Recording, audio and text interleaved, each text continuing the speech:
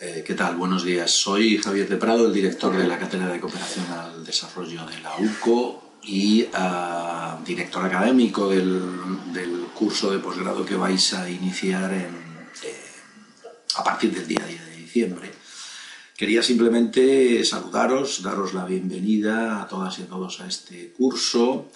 y haceros algunos comentarios en torno a los antecedentes del mismo y, por qué nos parece importante haber llegado a esta casi ya quinta edición,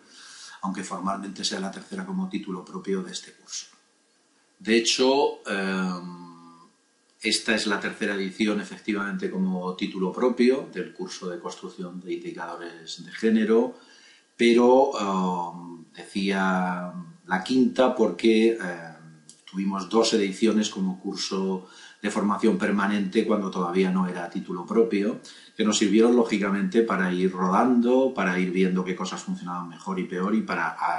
en definitiva, adoptar una estructura que más o menos es la definitiva y que este curso va prácticamente a repetir de alguna manera el esquema que ya utilizamos en la edición del año anterior. Eh, simplemente añadir que, como evidentemente sabéis, este es un curso que organizamos eh, junto con Mujeres en Zona de Conflicto y que de hecho la idea inicial partió, por su, partió de su parte y han sido y siguen siendo los principales protagonistas de este curso. Mujeres en Zona de Conflicto es una de las ONGs con las que colaboramos desde hace años en la Cátedra de Cooperación al Desarrollo de la Universidad. La verdad es que estamos eh, muy contentos con esta colaboración y este curso es la expresión quizá más eh, digamos, elaborada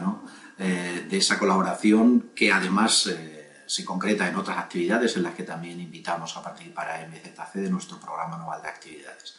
Así que nada más, por mi parte, desearos que, que todo vaya bien, que nos tengáis continuamente al tanto de vuestras impresiones y de, en fin, de vuestras ideas para poder mejorar el desarrollo del curso y esperamos, como decía al principio, que al final